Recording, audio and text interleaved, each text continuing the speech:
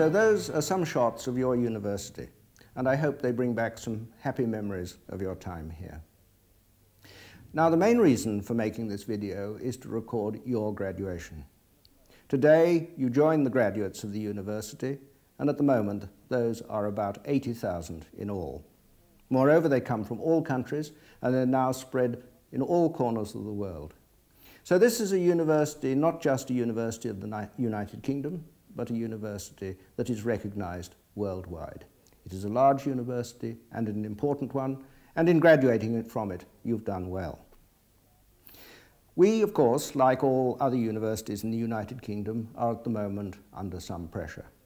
Society is wishing its universities to change, and the University of Manchester is no exception.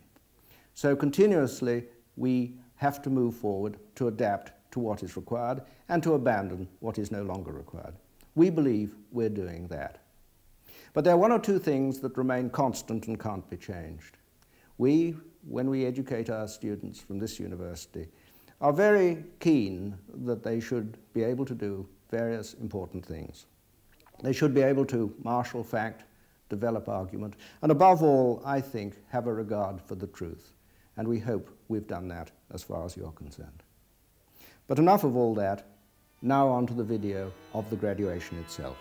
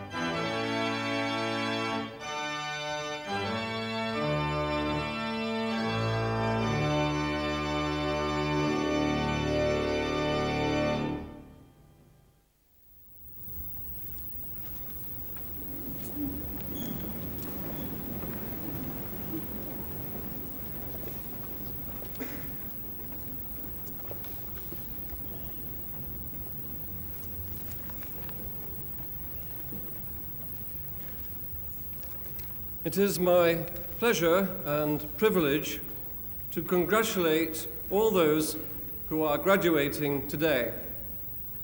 I'm also pleased to welcome parents, relatives, friends to this ceremony. Today, we celebrate the success of our graduands, the due pomp and style. I particularly congratulate the graduands on surviving the ordeal of finals. It's now 37 years, 37 years since I graduated, and I still dream about finals. I forecast that many of you will do the same. In my university, finals was divided into two parts, Tripos Part 1 and Tripos Part 2. In my dream, I'm always taking Part 3, which in reality does not exist. And in my dream, I face questions I cannot answer. I've lost the ability. The purpose of this talk, very short, I do assure you, uh, is to persuade you to make this nightmare a reality. I'll repeat that. The purpose of this talk is to persuade you to make this nightmare a reality. At this moment, many of you probably think you never want to take an examination again. That is partly because in our system, finals has become such an enormously important moment in anyone's career. I, I think that's wrong. I want to suggest that in the future, we should all be taking university courses all our lives. I believe that in your lifetime, those of you who are graduating now, the normal age, we shall see a great shift of emphasis towards more and more education for adults, more part-time university and polytechnic courses for new students and for graduates. Let me illustrate what I have to say with a few anecdotes. Uh, 25 years ago, I travelled with my wife and family to spend a year at the University of California at Berkeley, near San Francisco. We rented a house about six blocks below the campus in a twilight zone, a mixed community of different racial backgrounds. As we had young children, we soon became acquainted with our neighbours. I was surprised by two things. First, many were graduates, because in California, the number of people who enter higher education is roughly three times what it is in this country. And second, many of them, married, in their 30s, their 40s, were studying for diplomas or second degrees. The American modular system, whereby one can build a degree up slowly, brick by brick, helped them to continue study even when working full time. And a man or, or a woman who found the going hard, perhaps because of pressures of family or, or work, would drop out for two or three years and then return to add another module, another brick towards the final qualification. In British universities, it has been customary in the past for us to close the doors firmly behind you, our graduates, to raise the drawbridge, and only to allow back into the castle a few well-talented postgraduates. Extramural education has often been thought of as amateur, classes in local history for old retired people perhaps, or modern literature courses for jaded housewives. the very word extramural suggests these students are outside the walls, outside the privileged circles that you have inhabited while studying here at Manchester University. After I graduated, to recall some of my experiences of teaching extramural, like most of you, I was very short of money, and in the evenings, I taught for the Workers' Education Association, WEA. I was paid 25 shillings, what's that, £1.25, uh, for an evening's work. And I travelled hundreds of miles to talk to small groups, sometimes just eight or ten people, sometimes even less, gathered together in some drafty church hall. I very much admire those who labour in this way.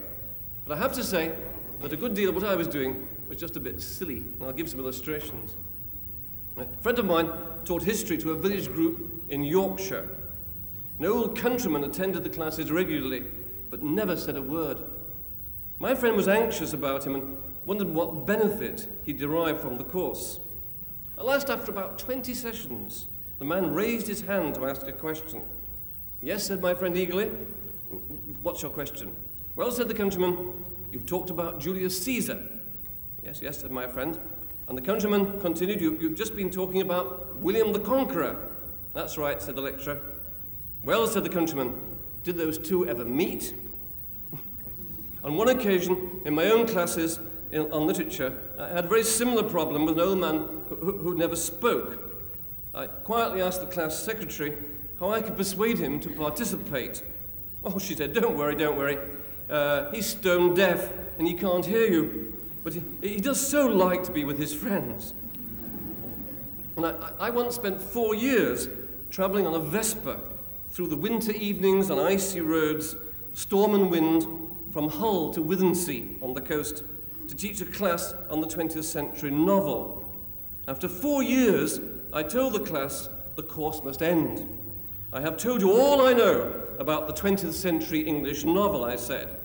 No, no, no, they said. You must return we've already forgotten everything you told us for the first three years. and so, many people have thought of extramural education as peripheral, without the standards and dedication and discipline of university degree courses. I'm arguing we need to think again about our commitment to work of this kind, the needs of adults. The doors must be flung open for, I think, two reasons. First, as everyone knows, in adult work, retraining programs have become essential as knowledge changes so rapidly. This is particularly true for scientists, engineers, doctors, teachers, whose university studies can so soon become out of date. There is a constant need for professional continuing education. If it is to be of the highest standard, then universities must participate, must rethink their degree structures to enable students to return again and again for further and further qualifications. At Manchester University, we've just started a very successful modular part-time degree. But secondly, in addition to vocational training, we need university courses, particularly in the arts and the social sciences, whose prime concern should be to raise quality of life. The success of the Open University has demonstrated the great demand for real professional training in the arts, languages, social sciences. In the English system of education, students specialize too early. We need a system where, through part-time degrees, hundreds of engineers or scientists can study music or politics, languages, where graduates in English can study French or German or Spanish or the history of science. Society where, as I found at Berkeley, people continue to enjoy the privilege of a university education for the rest of their lives. Now, this might seem like special pleading, but in all these visions and what you've been experiencing here in Manchester, the huge cuts in university funding has made it very difficult to implement what I've been describing. I do believe they are endangering this quality of life. Since 1981, in real terms, all universities have seen their grants cut by at least 15%, in all cases, many institutions far more.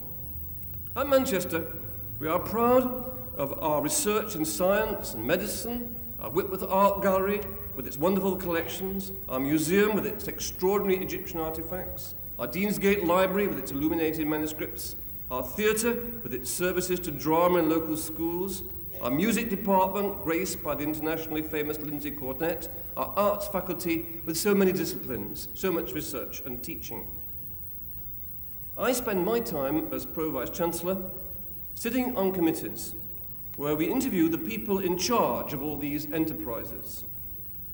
We tell them to cut their budget by another 2%, that a member of staff who has retired can never be replaced, that the richness of our degree courses must be reduced by eliminating special options, that their expenditure on equipment or books must be cut once again.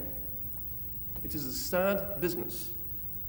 It's not surprising that throughout education, applies to the schools as well as universities and polytechnics, there is a sense of despair if we are to develop the courses needed both for undergraduates and to satisfy the growth of postgraduate work, which I've been describing, we need more money, not this gradual reduction, this withering away, which has now been going on for eight years. It has to stop. Let me end on a note of optimism. I'm always optimistic, and the situation now I think is so dire that I hope there will be a change of heart that in the 1990s, and I hope you will support this when you leave here, we shall see renewed investment in higher education. A new technology, the revolution in communications, offers so many inexpensive opportunities for new practices in education. In the future, instead of someone like me crossing icy roads on a motorbike, seminars will take place with people talking to each other, seeing each other, while they are sitting in their own homes. So, my to conclude, my hope for you in the future is that you will not, like me, dream you are taking finals again.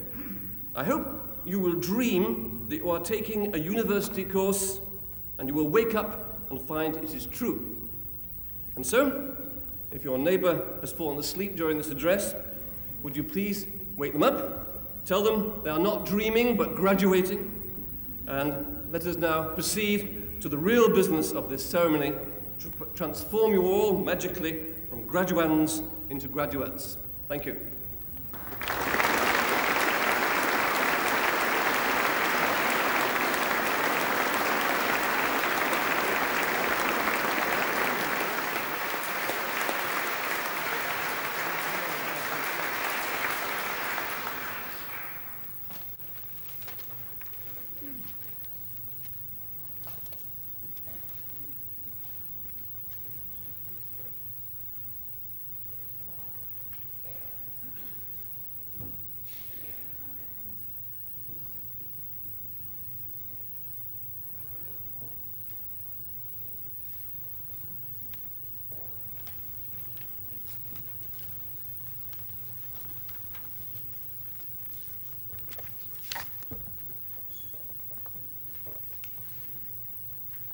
Mr. Pro-Vice-Chancellor, on behalf of the Senate of the University, I present to you for the degree of Bachelor of Arts with honors in American and Latin American Studies, Robert John Walker.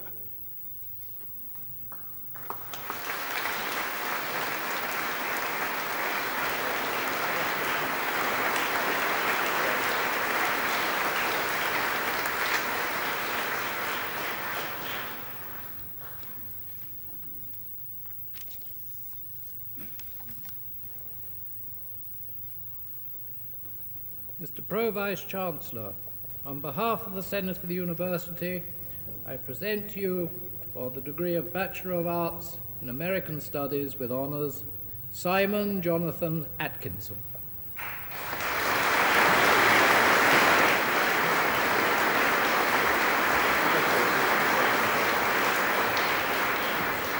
Petra Louise Coveney.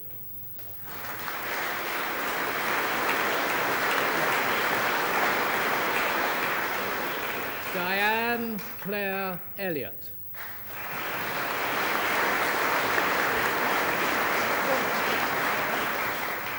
Rebecca Sean Hodkin.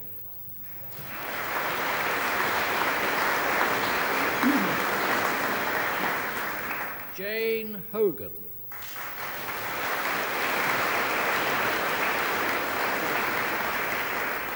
Catherine Louise Lane.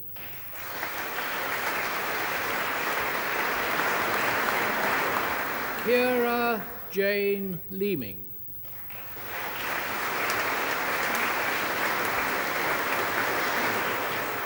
Anthony John Michael McAndrew.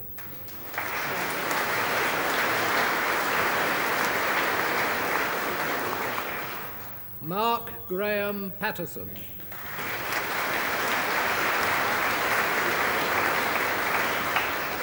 Murray David Shackelford.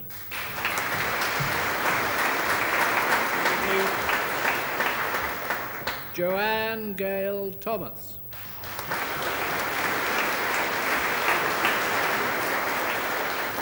Reese John Tudor Williams.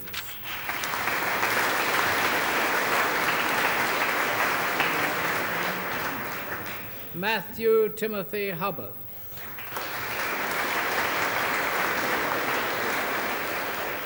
Helen Julia Kenny.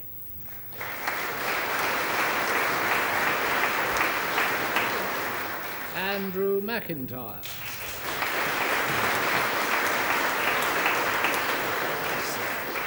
Claire Barbara Zokwa.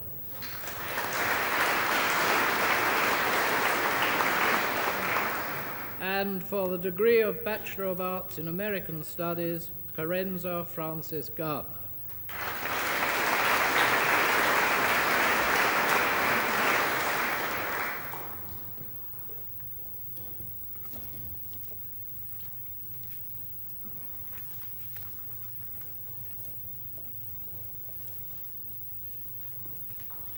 Mr. Pro Vice-Chancellor, on behalf of the Senate of the University, I present to you for the degree of Bachelor of Arts with honours in classics, Deborah Gale Bell.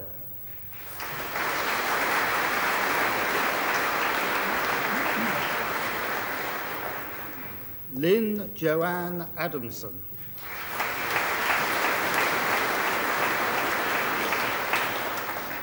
James Roger Dickinson.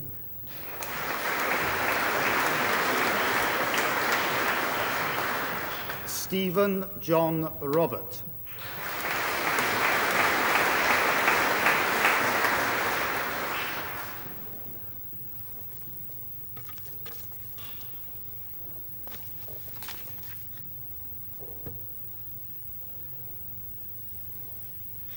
Mr. Pro Vice Chancellor, on behalf of the Senate of the University, I present to you for the degree of Bachelor of Arts with honours in English Language and Literature, David Gareth Edwards. James William Stanislaus Locksley.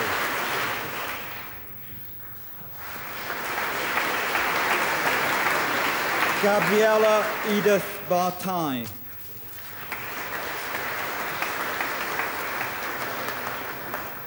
Ursula Claire Brain.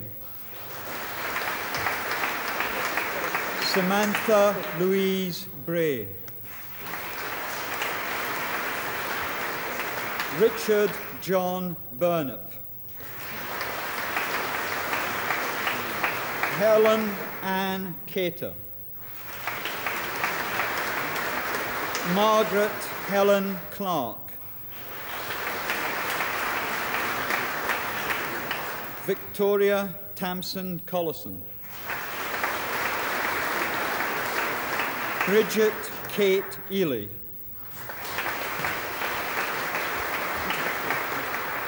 Katrina Elizabeth Irene Forrest. Patricia Ann Harding.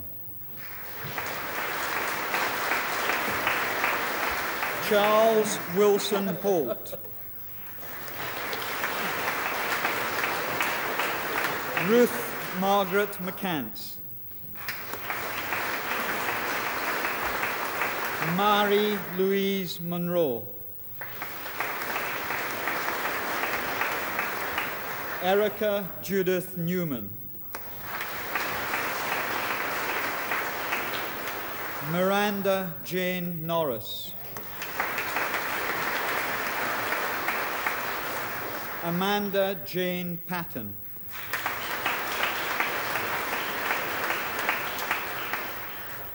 Joseph Etienne Peters. Kay Phillips.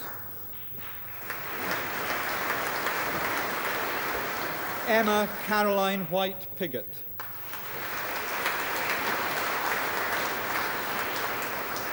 Tracy Kim Reeling.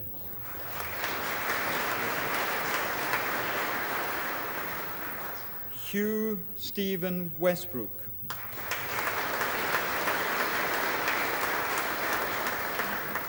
Julian Don Whitty. Edward Anthony John Woodall.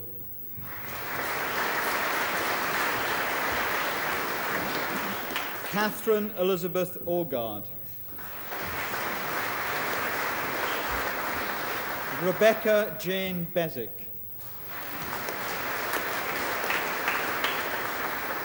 Rebecca Parton Brown. Philip Dara.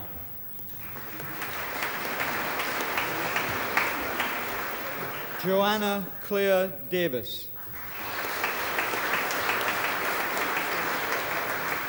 Andrew Gordon Fisher. Mark Edward Hart. Angela Marie Hart.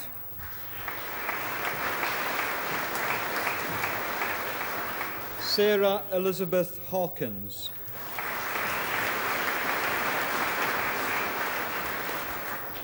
Ruth Hirons. Helen Sarah Jones.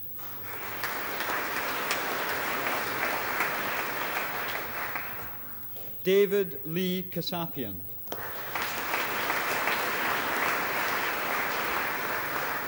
Bryony Constance Knox Peebles.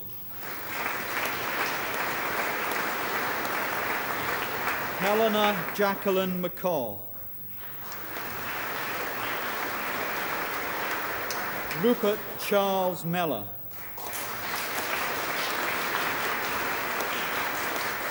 Jane Paulin.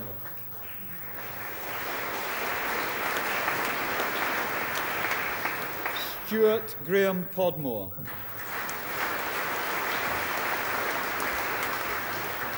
Eleanor Mary Smears.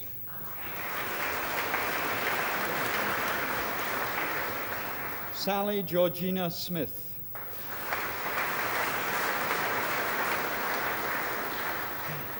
Heather Diane Tracy.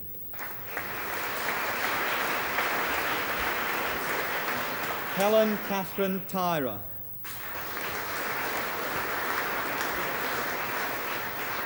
Ian Jonathan Vickers. Lisa Jane Jepson.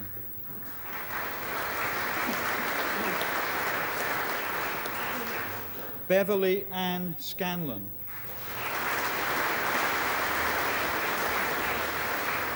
And for the degree of Bachelor of Arts with Honours in English and American Literature, Fiona Ruth Bailey.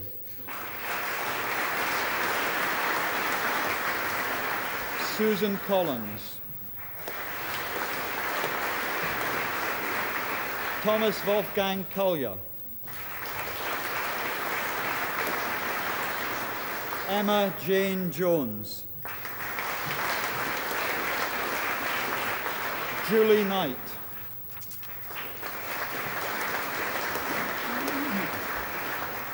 Mark St. John Ludman.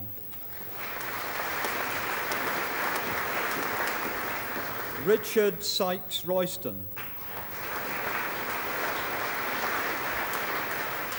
Elizabeth Kate Salas. Alison Walker. Susan Elizabeth Anson Walker. Neil John Cook.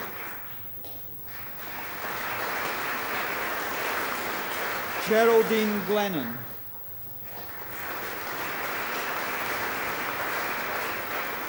Anthony John Grice.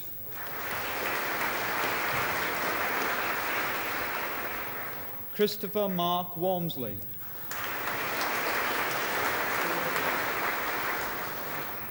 And for the degree of Bachelor of Arts with honours in English and Italian, Joanna Isabel Hitchen.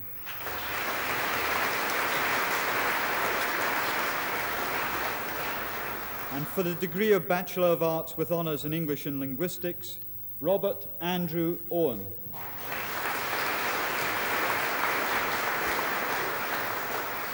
Bruce William Parvin.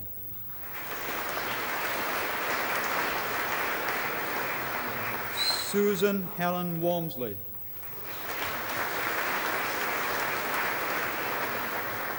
And for the degree of Bachelor of Arts with honours in English and Philosophy, Paul Michael Armstrong.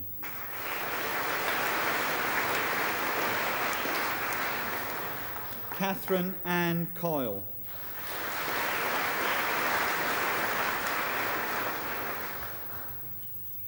Neil Robert Kinnersley.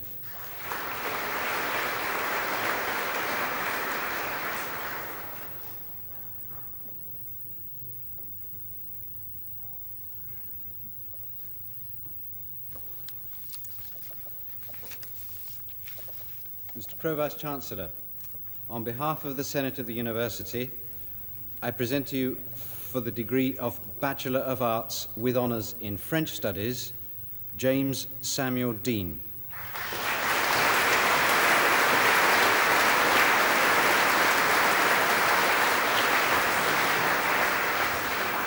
Timothy Darby.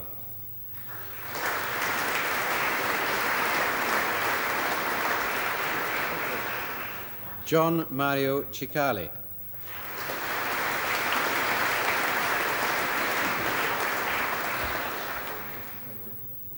Isabel Yannick Finch.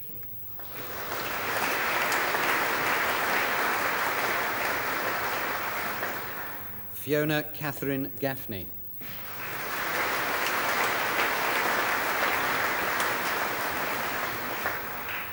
Gillian Hughes.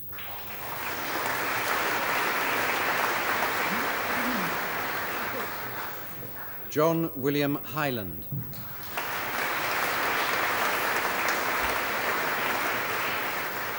Robert Graham Jones.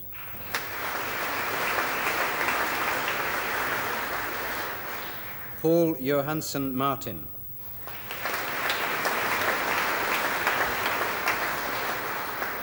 Richard John Parsons.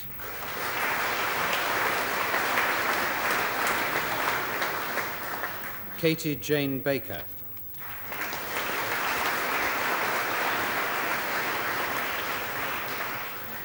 Deborah Green.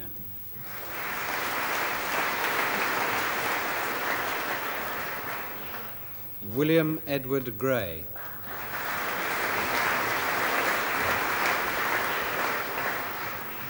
Alexandra Gay Ann Hull.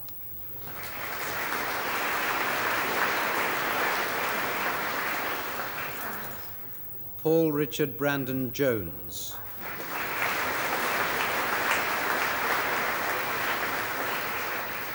Joanne Louise Kelsey.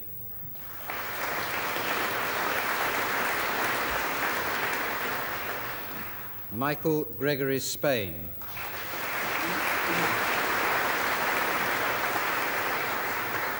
Samantha Stern.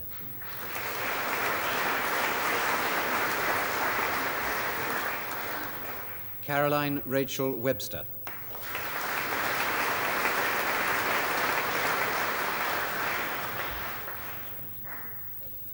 And for the degree of Bachelor of Arts with Honours in French with Latin, Simon Paul Querden.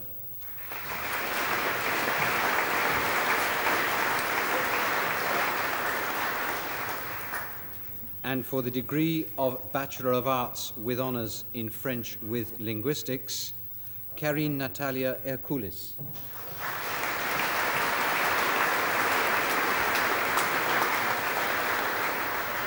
Rebecca Mary Forster.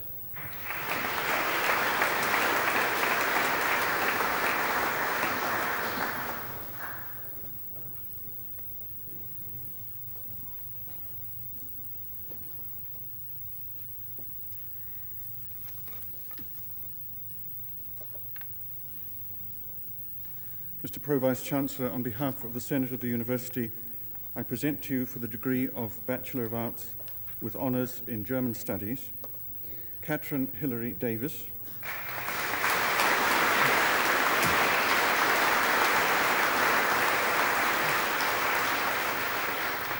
Leslie Ann Rhodes,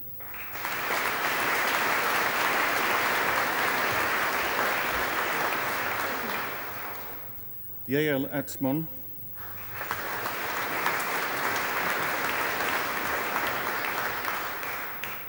Sarah Catherine Baldy,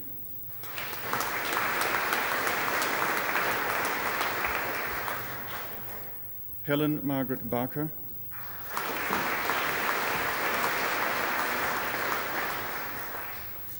Caroline Debrashian,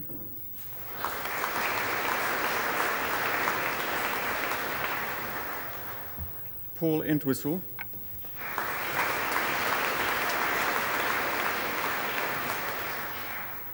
Susan Jane Goodings,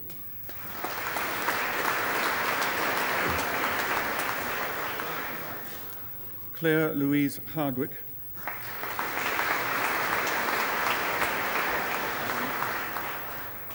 Jane Patricia Hudson,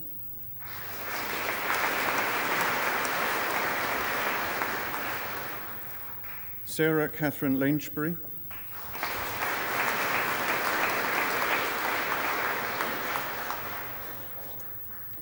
Christine Lewandowski,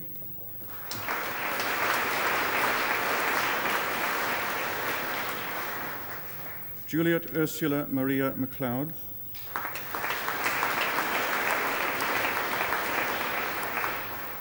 Judith Catherine Owen,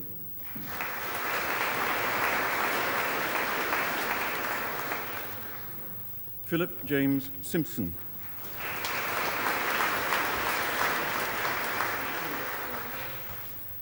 Joanna Wakefield Lee.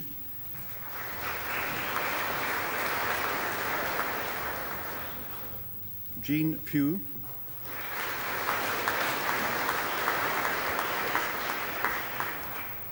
Daniel Jonathan Smith.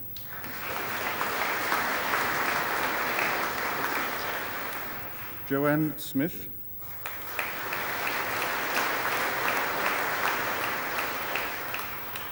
Catherine Ann Williamson.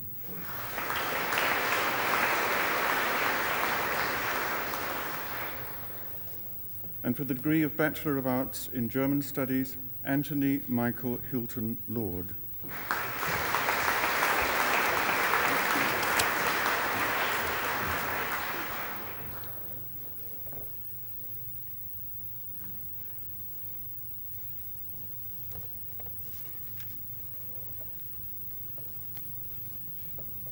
Mr. Pro-Vice Chancellor, on behalf of the Senate of the University, I present to you for the degree of Bachelor of Arts with honors in Hispanic Studies, Gina Angela Ferretta.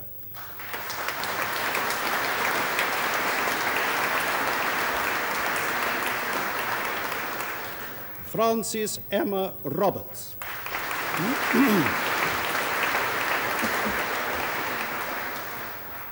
Victoria Belon.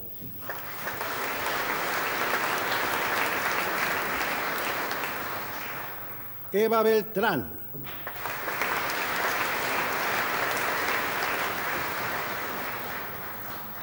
Claire Maria Casserly.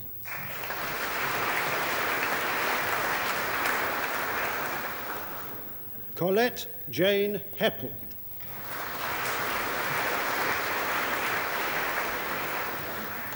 Michael Peter Kelly.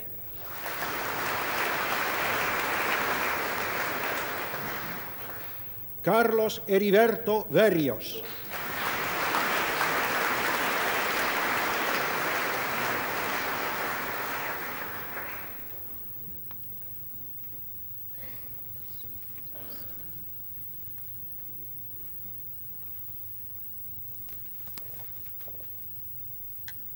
Mr. Pro-Vice Chancellor, on behalf of the Senate of the University, I present to you for the degree of Bachelor of Arts with honours in Italian Studies, Ruth Roberts.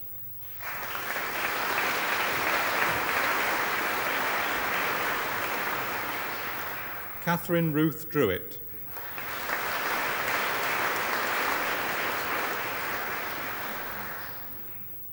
Nicola Maria Galani.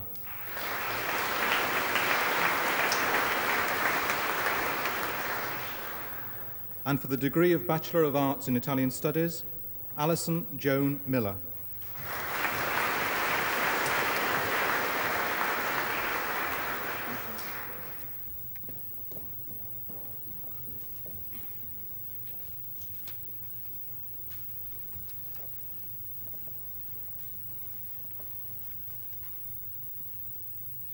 Mr. Pro-Vice Chancellor, on behalf of the Senate of the University, I present to you for the degree of Bachelor of Arts with honours in Latin, Philippa Jones.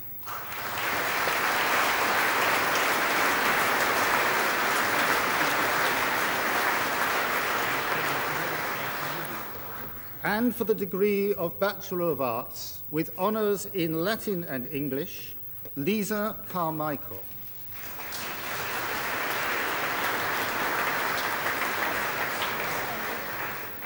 Helen Claire Lockett.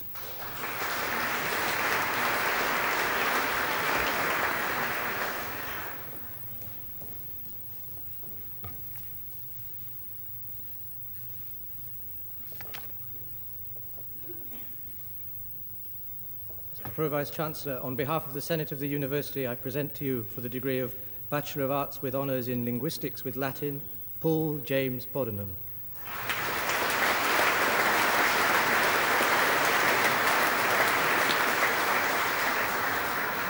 And for the degree of Bachelor of Arts with honours in Linguistics and Social Anthropology, Tracy Jane Booth.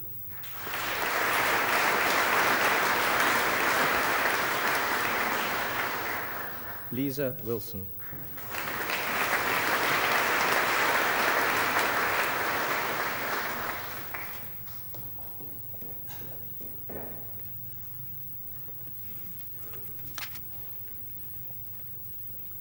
Mr. Pro Vice Chancellor, on behalf of the Senate of the University, I present to you for the degree of BA with Honours in Middle Eastern Studies, Georgina Elizabeth Bamforth.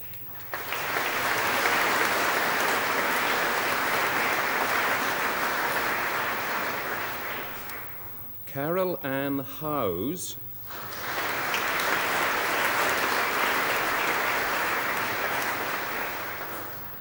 Julia Sherpflin.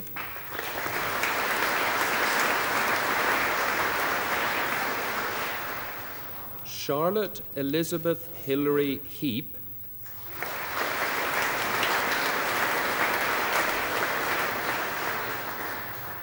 Hannah Solafa Nadim.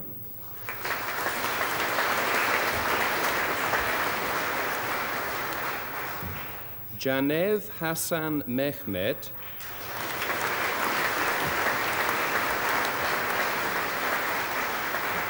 Joan Isabel Yodakin.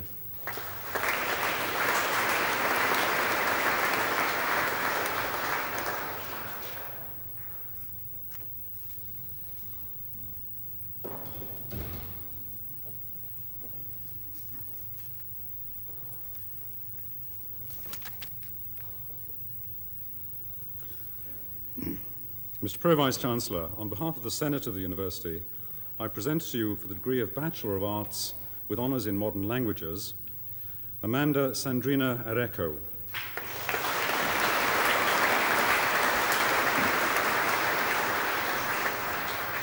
Mary Atkin.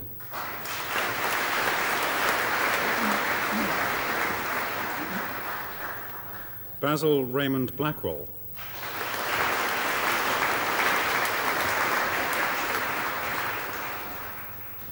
Gavin Neil Childs.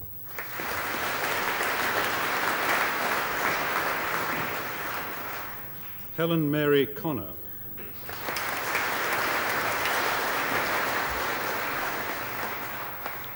Mercedes Ann Cuesta Perry.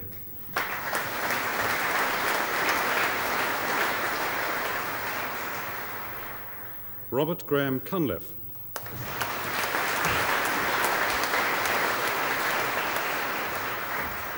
Vanessa K. Griffiths.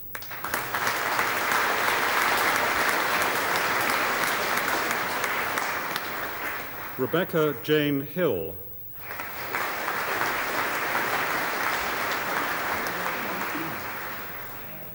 Maisie Wing Yi Kong.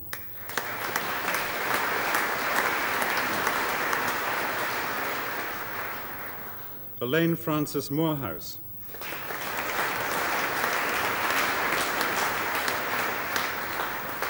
Jonathan Ray.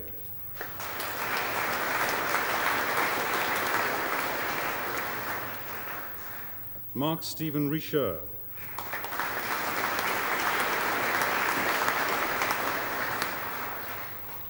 Clive Jonathan Wilson.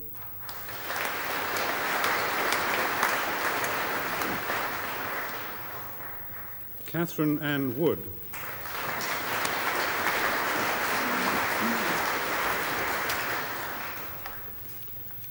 And for the degree of Bachelor of Arts with joint honours in modern languages, Michael John Cook.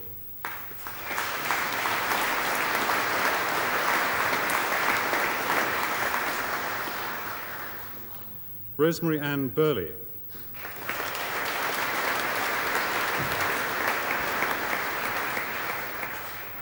Claire Marshall Butler.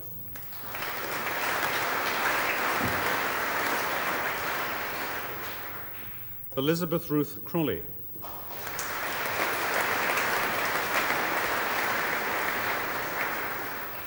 Melissa Ann Kent.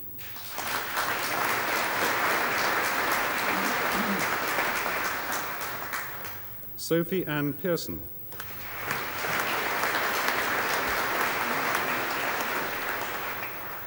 Ruth Butler.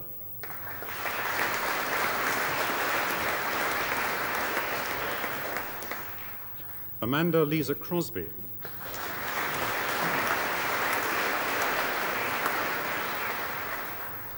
Dina Michelle Leifer.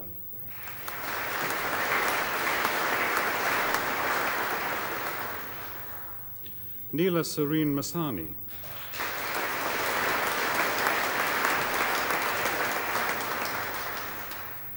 Selina Ann McNay.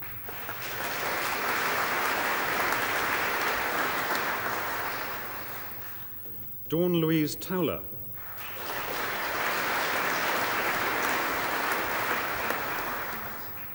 Natalie Louise Walker.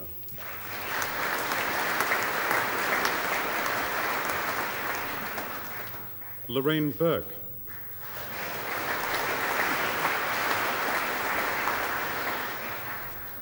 And for Bachelor of Arts in Modern Languages, Sharon Leslie Walsh.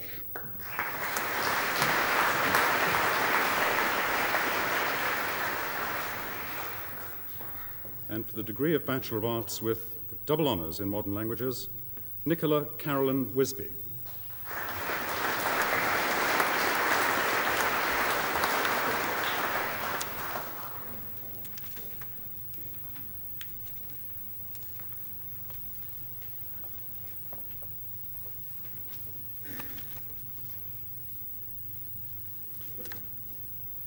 Mr. Pro Vice Chancellor, on behalf of the Senate of the University, I present to you for the degree of Bachelor of Arts with Honours in Russian Studies, Andrew Peter Hall.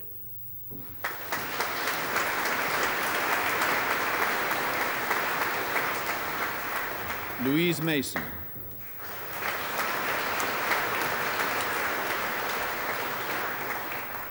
Christopher Mark Walker.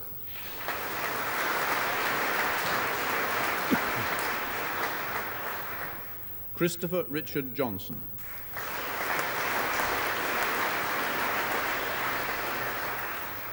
Susan Jane Ledger.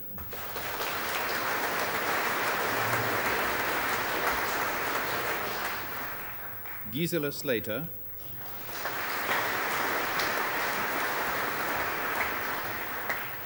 Spencer John Wilson.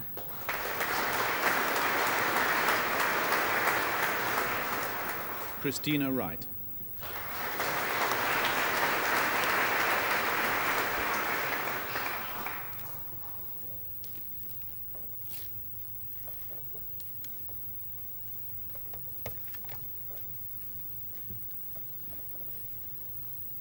Mr. Pro Vice Chancellor, on behalf of the Senate of the University, I present to you for the degree of Bachelor of Arts with honors in Spanish, Margarita Rodriguez.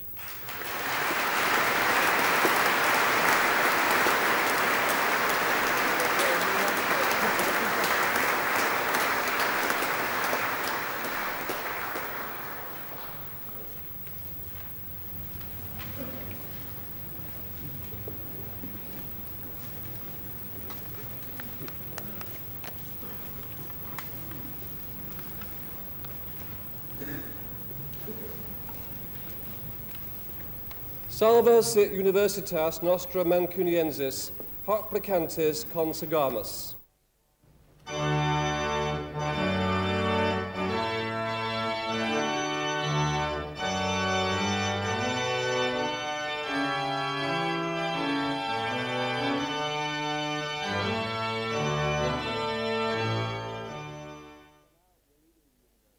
So now you're leaving the university and going out to start a career in the world.